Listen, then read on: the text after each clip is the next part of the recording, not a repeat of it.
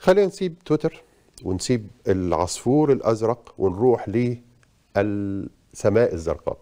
القصة إيه؟ القصة إن في تطبيق اسمه بلو سكاي بلو سكاي ده موقع جديد أو تطبيق جديد للتواصل الاجتماعي. مين اللي أنشأه يا جماعة؟ أنشأه جاك دورسي مؤسس تويتر أصلا. جاك دورسي ساب العصفور يروح لإيلون ماسك وقال لك أنا هروح بقى إيه؟ أعمل السماء الزرقاء كلها. كان آه، آه، جاك دورسي عنده فكرة كده يعني غريبة شوية هو كان أتاح الخدمة للمستخدمين للاختبار التجريبي ومن المقرر إنه يتم إطلاق الخدمة دي قريبا. إيه الفكرة؟ عبارة عن إيه؟ إنه التطبيق ده هيتم إطلاقه إزاي هينافس تويتر؟ اللي استحوذ عليه إيلون ماسك بالتأكيد. إزاي هيكون عليه ليه تأثير على تطبيقات التواصل الاجتماعي؟ لأن زي ما قلت لكم الفكرة بتاعته مختلفة شوية. تعالوا نشوف التقرير بتاع ال- السماء الزرقاء أو البلو سكاي ونرجع مرة تانية. أعلن جاك دورسي عن أن تطبيقه الاجتماعي اللامركزي الجديد بلو سكاي يبحث عن مختبرين تجريبيين وعقب ذلك حصل التطبيق على 30 ألف طلب في قائمة الانتظار لأشخاص متحمسين لتجربة التطبيق.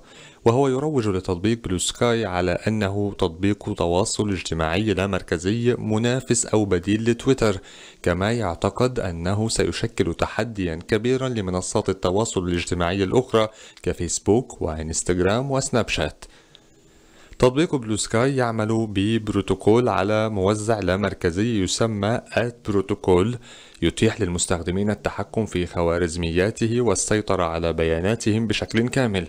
وهذا يعني أن بيانات المستخدمين ستكون بعيدة عن التأثير الحكومي وسيطرة الشركات التي تستغلها في الأنشطة التسويقية وهي خطوة يمكن أن تحدث ثورة في اقتصاد البيانات الشخصية.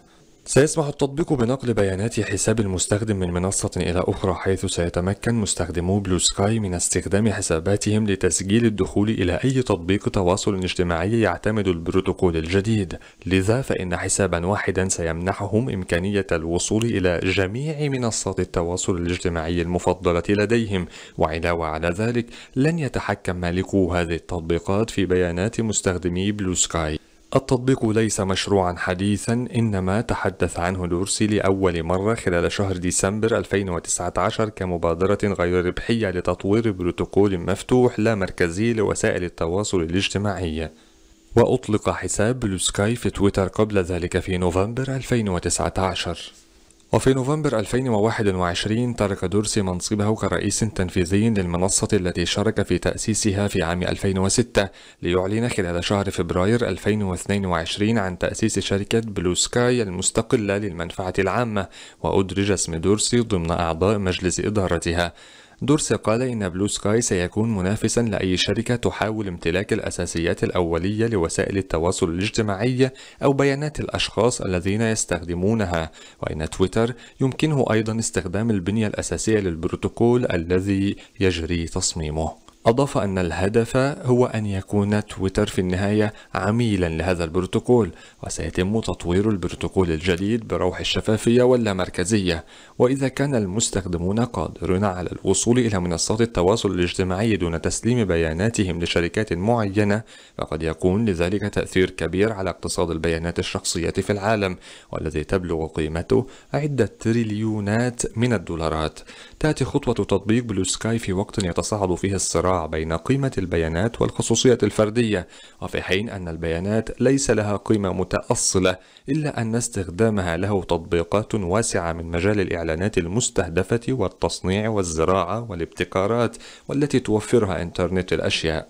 العديد من الشركات تعمل الآن على جعل تبادل البيانات المصدر الرئيس أو الهدف الرئيس لأعمالها. فهل يعمل دورسي على تطبيق بلو سكاي الآن لتصحيح الأخطاء التي قام بها؟ في تويتر؟ زي ما شفتوا حضراتكم الموضوع كبير شوية. مش بنتكلم فقط في عمل آه، منصة تواصل اجتماعي منافسة لتويتر أو حاجة. القصة كلها عايز أقول لكم إنه أهم آه، آه، أهم اسد أو أهم أصل عند وسائل التواصل الاجتماعي عارفين هي إيه؟ هي البيانات. هي بياناتي وبياناتك. هي دي القصة. أهم حاجة. على فكرة جزء كبير من استحواذ تويتر أو من استحواذ إيلون ماسك على تويتر الدخل بتاعه هيبقى إيه؟ هو الدخل بتاعه هي البيانات دي نفسها، يعني فيسبوك بتبيع البيانات دي، واتكلمنا في القصص دي في أسابيع كتيرة قبل كده والفضايح اللي ممكن تكون بتحصل بسبب بيع بياناتنا الخاصة بتواجدنا على منصة التواصل الاجتماعي بتاعة الفيسبوك أو الخدمات الثانية. فتويتر عنده البيانات دي مهمة جدا. طب هيستفيد منها إيه؟ ممكن يستفيد منها حاجات كتيرة جدا. ممكن إيلون ماسك نفسه يطور خدماته اللي بيقدمها زي بتاع عربية تسلا وزي كل الخدمات اللي بيقدمها التانية اعتمادا على البيانات دي اللي هي بنسميها ال big data. ال big data اللي هي المعلومات الكتيرة قوي اللي لما بتقدر تحللها بتعرف توجهات الناس.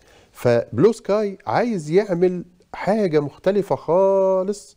جزء منها أساسي هو إنه يحافظ على البيانات دي. يعني يبقى البيانات دي مش مش عند كل واحد. مش كل مش في بيانات عند فيسبوك وبيانات عند تويتر وده ممكن يبيعها أو ما يبيعهاش أو تحصل مشاكل أو تتسرب أو أو. لا هو بلو سكاي عايز يعمل منصة مختلفة خالص ب concept مختلف خالص. البيانات بتاعت المستخدمين فيه تبقى تعتبر مركزية ولا مركزية يعني محفوظة في مكان معين. كل الناس قادرة ت access عليها زي كل وسائل التواصل الاجتماعي. قادرة ت access عليها بس مش قادرة تاخدها. قصة كده شوية محتاجة شوية شرح. لكن هي دي دماغ جاك دورسي. جاك دورسي اللي هو أسس تويتر اللي هو تويتر خلاص اتباعت دلوقتي هيبدأ يركز بشكل كبير جدا في البلو سكاي. جزء منها بالنسبة لنا هنستخدمه كوسيلة تواصل اجتماعي. آه عادي. لكن ال background أو الخلفية أو ال base بتاع ال- الخدمة دي مختلف خالص خالص عن عن الأدوات التواصل الاجتماعي التانية. مش عايز أوسع كتير شرح في الموضوع ده إن شاء الله لاحقا نديلكم فيه تفاصيل أكتر وأكتر عشان نبدأ نستوعب الفكرة بإذن الله.